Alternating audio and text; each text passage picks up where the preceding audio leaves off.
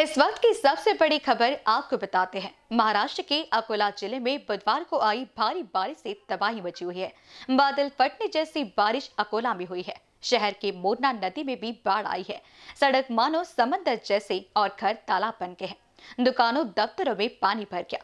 कुदरत की कहर और पानी के इस प्रहार के बीच ज़िंदगी बेबस हो गई है।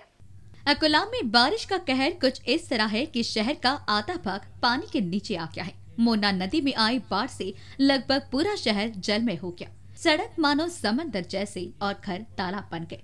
कहीं घुटनों तक पानी भर गया है तो कहीं लोग अपने घर छोड़ने के लिए मजबूर हो गए।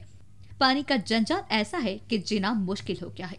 बुधवार को अकोला ज़िले में आई बारिश ने हाहाकार मचा दी। बुधवार 21 जुलाई को संध्या काल से ही बारिश को शुरुआत हुई थी, जो देर रात तक जारी रही और बारिश का ज़ोर बढ़ता गया।